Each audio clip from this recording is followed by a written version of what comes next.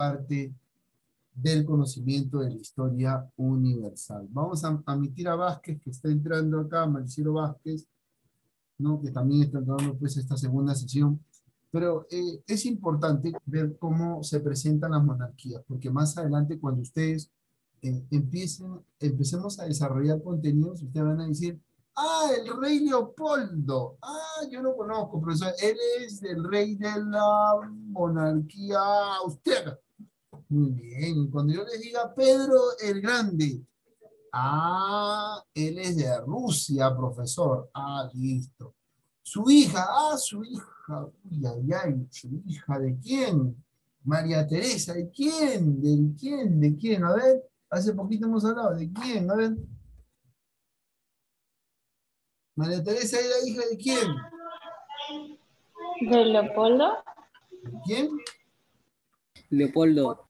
De Leopoldo. Muy bien. Muy bien, muy bien, muy bien. Ahí están, ahí están. ¿Seguros? Profesor. ¿Seguros? María Teresa era hija de quién? ¿De Carlos VI? De Carlos VI. Muy bien. Ahora sí están en lo correcto, muchachos. Carlos VI. Entonces ustedes ya más o menos tienen que ir teniendo los nombres de los monarcas, ¿no? De los reyes. Igual, mm, para cada espacio, territorio, solo tienen ese punto de ese plus. ¿No? Muy bien. Creo que hace un rato querías opinar algo, Fernando Salas. Fernando. Dime, profe. ¿Querías preguntar algo, hijo, creo? ¿O me pareció? No, profe, no. No, nada. Me pareció. Me pareció. Muy bien, vamos a ver acá. Vamos a continuar, queridos estudiantes. Vamos a continuar acá explicando esta parte de la historia universal. Bien. Nos quedamos en José II, Francisco II. ¿Seguro? No. ¿Seguro? ¿En qué tenemos que? Sí, Austria, José, muy bien, Leopoldo, José, Carlos VI, su hija, María Teresa, ¿cierto? Muy bien, nos, quedamos habíamos quedado ahí con María Teresa, ¿no? Importante, importantes hechos que realiza ella acerca de la corona austríaca y cómo se va desarrollando toda la trama de esta monarquía. Ahí la tenemos, ahí a María Teresa, una representación de ella, bien marcado. ¿Qué más tenemos? Tenemos a José II, conocido como también el emperador. Su hijo, Francisco I, en este caso, eh, perdón, hijo de Francisco I, de Habsburgo y Lorena, va a continuar con ello, ¿no? Y habíamos dicho que este muere con tuberculosis, ¿no? Bien marcado. Así que al regreso, pues íbamos a hablar acerca de Francisco II. Y aquí nos quedamos con él, con el último representante de la corona austríaca. ¿Qué pasa con Francisco II? Considerado el emperador, ah, ojo, ¿no? Recuerden ustedes que muere eh, la anterior, que es José II, que tenemos acá al costado, muere él, y va a pasar una nueva situación, ¿no? Para que eh, una monarquía, pues, se vuelva a instaurar. Se instaura la monarquía de Francisco II como el monarca patriarcal. No, esa imagen de padre hacia el pueblo, hacia sus eh, seguidores, es lo que va a practicar este monarca. Y prácticamente él se va a convertir en ese típico representante de esa monarquía. Pero lo que sí él se va a plantear o a oponer a hechos que vamos a tratar nosotros más adelante, como la Revolución Francesa. No le va a parecer a bien, ¿no? Eh, este escenario de, la Revolución Francesa, no conforme de, de, hecho, no, de las acciones que va a realizar Napoleón, tampoco va a estar de acuerdo él, más adelante también vamos a tratar de ello, y es ahí donde él va a empezar a expresar un odio a esos actos propios y eh, propios de Europa Occidental, ¿no? sobre todo Francia. Ahora, él va a sufrir, pues, ante esto, la mutilación de su territorio por los tratados de, de Campoformio, ¿no? Luneviel y Presburgo. Estos tratados que se van a dar en un determinado tiempo de la historia de Francisco II van a definir prácticamente su título como emperador del CIR también.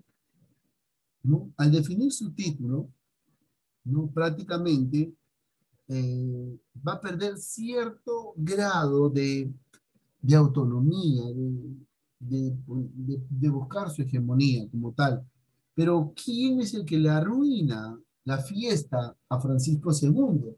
Quien arruina la fiesta va a ser Napoleón. Napoleón va a convertir el, el Cid en la Confederación del Rin.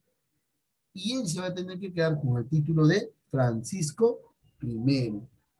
Para el año 1814, para el año 1814, se va a dar una convocatoria, ¿no? Y es aquí donde se va a realizar un congreso de Viena. El congreso de Viena, que más adelante vamos a tratar, habla acerca de la restauración después de la Revolución Francesa, para definir cómo quedaron estos territorios. Y este Congreso de Viena va a ser muy importante, porque se va a prevalecer el espíritu de la, de la autoridad, o ese principio bien marcado. Y sobre todo, que se va a tratar de condicionar aquellos movimientos liberales que se van a dar en Italia. Pero ¿por qué se van a dar en Italia estos movimientos liberales como tal? ¿Por qué se van a dar? Se van a dar a raíz que estos reinos que comparten una misma lengua, un mismo idioma, una misma cultura, un mismo comportamiento, ¿no? Se van a querer unificar y eso va a pasar más adelante, que vamos a tratar acerca de la unificación italiana. Profesor, ¿qué en este tiempo ¿No hay un país italiano? No, no está, no hay una corona italiana. Existen diferentes reinos. Están los reinos de Cerdeña, están los reinos de Piamonte, están los reinos de Lombardía, están los reinos del papado, del pontificado, están los reinos de las dos Sicilias, que vamos a ver cómo adquieren el nombre de las dos Sicilias en esta parte de la historia, entre otros reinos más. Y como son reinos, cada reino tiene su rey tiene, tiene quien dirija. ¿Me dejo entender? Por lo tanto, señores, no hay, así como no hay un reino de, Italia, ¿no? ¿Qué va a pasar? Tampoco hay un reino de Alemania, señores. No existe la Alemania. Existe un reino de Prusia, de Prusia, de Rusia, los reinos germanos, ¿no? El Sacro Imperio Romano Germánico, anote, ¿no? También va a buscar su unificación y se van a dar dos enfrentamientos. Los que buscaban la unificación italiana y los que buscaban la unificación alemana. Ambos van a llegar a correlación y van a pasar diferentes hechos en los cuales ellos van a coincidir. ¿Por qué? Porque van a fijar sus apoyos a diferentes coronas y entre ellos se van a dar el apoyo hasta llegar a su unificación. Claro que más adelante vamos a hablarlo con mucho más detalle acerca de las unificaciones que se van a dar, sobre todo porque van a definir la historia. Entonces tenemos aquí al rey Francisco II. Y con él cerramos este, esta parte de la historia, por lo menos a los inicios del siglo XIX, años 1814. Y nos vamos a ir y transportar a otra parte, a conocer otros caminos, a conocer las monarquías de Rusia. Profesor, Rusia tiene zar. Exacto. El término zar se utiliza para dirigirse a rey o monarca. ¿no? Ustedes nos decimos, vemos a alguien con corona, bien vestido, jalado carruaje, un rey, un príncipe, sus hijos, ¿cierto? Pero en Rusia no, es un zar. Pero el zarismo se va a aplicar en base a una realidad. ¿Qué va a pasar en Rusia en este tiempo, ¿no? Que estamos analizando. Viene uno espectacular, ¿ah? Pedro el Grande, conocido en la historia como el cruel. ¿Y saben por qué ¿Se imaginan por qué era conocido como el cruel? ¿Por qué creen?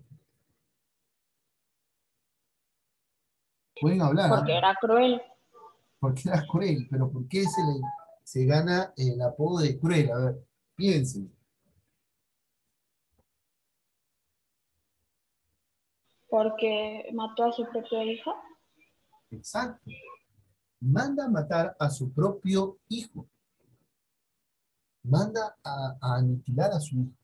Y esto le va a condicionar muchísimo porque en un determinado tiempo de Rusia, la aristocracia, los, en este caso, eh, los boyardos, los latifundios, usted mira, profesor, ¿quiénes son los boyardos? Los boyardos eran un grupo social muy cercano, a la, muy cercano al zar, y era la aristocracia del momento, era el boom, eran los líderes, los más más, y los boyardos son los que acuñan el término zar más adelante, y los latifundios eran prácticamente los hacendados, los que tenían grandes extensiones de tierras, o sea, los más poderosos, se podría decir. Entonces, entre ellos y el pueblo, son los que van a gobernar por un determinado tiempo.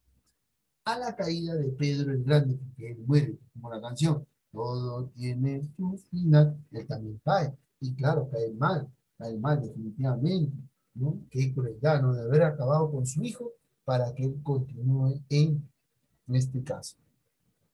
Conozcamos un poco más acerca de este emperador, ¿no? Como Pedro I el Grande. Saca del poder a su hermana, la cual ella tenía que estar en la regencia, ¿no? Y sobre todo va a emprender una serie de reformas. ¿Cuáles, ¿Cuáles son esas reformas que van a hacer? Con el ejército, ¿no? Con la burocracia, ¿no? Y va a sustituir el patriarcado por un sínodo presidido por él mismo. ¿no? Una serie de, de, asambleas que él va a dirigir en este caso. Para 1703 funda la ciudad de San Petersburgo, ¿no? Y él va a ganar fama por reform, eh, reformador, ¿no? Ya que él eh, admiraba mucho a Voltaire. ¿Y quiénes eran Voltaire? ¿Quiénes eran Diderot? Estos personajes son propios de la ilustración, que más adelante vamos a analizar también, la ilustración. ¿Y quiénes eran ellos, profesor? Ellos eran los más grandes, eran los más sabios. Por ejemplo, ¿qué decía Voltaire? ¿Qué decía Montesquieu? ¿Qué decía Diderot? Que hablaban de la política o de la organización política. Hoy en día, por ejemplo, eso es lo que nosotros llamamos división de poderes, ¿no? Poder legislativo, ejecutivo y judicial. Son pensamientos que ellos plantearon en una época, donde vieron por conveniente que el poder no, debería, no debería caer, recaer en una sola persona, que debería haber, como se dice, instituciones que se encargan de gobernar. Y eso fue lo que pasó en Rusia después de la muerte de Pedro I, ¿no? Y él, pues, eh, a, ante esta situación, no porque él comete otro gravísimo error después de haber mandado liquidar a su hijo, le quita posiciones a los boyardos. Y recuerden ustedes que los boyardos son una aristocracia, pues, una familia más, más influyente. Y esto prácticamente le va a condicionar. Y eso sí, pues, va a traer consigo, pues, que los boyardos, los latifundios, no se queden al cargo del Estado ruso. Se acaba con Carlos I, considerado en la historia como el Grande, y va a asumir Catalina la Grande. Y Catalina la Grande, y hay que aplaudir a las mujeres. Un aplauso para todas las damitas que el día de hoy nos acompañan en esta clase. Princesas, ¿verdad? Ahí estamos. Esta, ¿Qué va a hacer Catalina la Grande? Catalina II. ¿Dónde está, profesor? Catalina II. ¿Qué pasa? Acá está. Catalina II la Grande, conocido como de origen alemán, ¿no? de origen germano, se llamaba Sofía Federica Augusta de Analfacer. Interesante el nombre, ¿no? Sofía Federica. Y Sofía Federica en el año 1762, aprovechándose de la creciente aristocracia que estaba eh, en contra de lo que había planteado eh, Pedro el Grande y lo que se estaba viviendo en este tiempo después de la caída de Pedro el Grande, va a ser apoyada por la Guardia y el Senado. Así, mi querida amiga Catalina la Grande hace un golpe de Estado. ¿Y qué cae? ¿Qué cae consigo con este golpe de Estado? El régimen que hasta el momento están viviendo, pues en Rusia. Cae ese golpe de Estado y ella aplica su monarquía, o sea, su zarismo, ¿no? Con características despóticas ilustradas, con el despotismo ilustrado.